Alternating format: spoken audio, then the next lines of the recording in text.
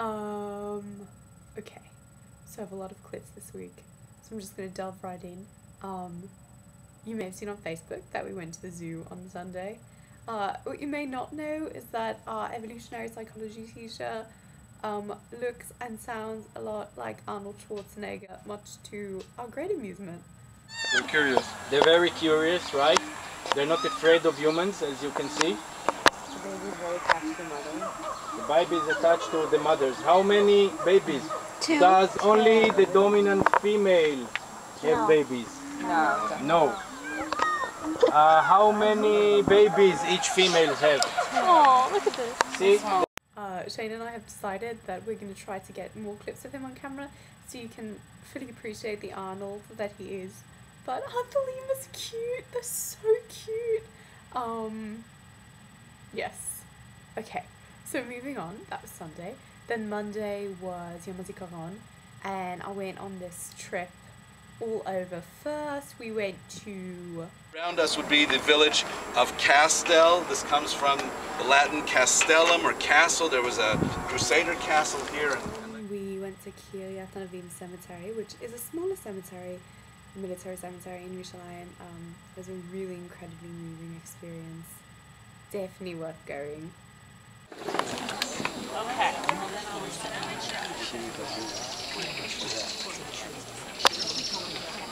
There was this really amazing guy on the bus who decided to put a flower in his hair, and uh, I tried to tape him for you. I think he might have noticed. i'm going to call you Rosie, yeah, uh, Rebecca. That night uh, was Yom Ha'atzmaut, and walking back from the hotel, I walked through Kikar Safra, where this was going on.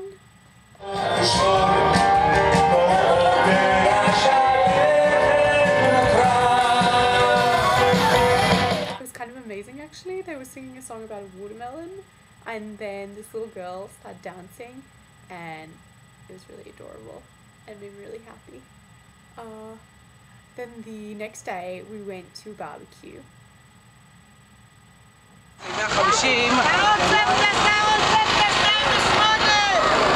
Welcome to Yom Ha'atzmaut.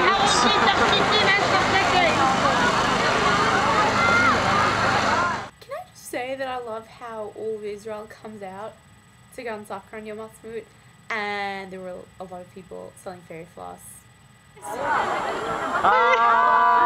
Good job! יום העצמאות. יום העצמאות שמח. Note, these particular people were not selling fairy floss, but I felt like this was an appropriate time to put them in. So yeah, I think that's about it for right now.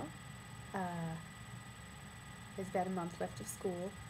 Lots of things that I have to do that I'm putting off, but that's that's you know pretty usual.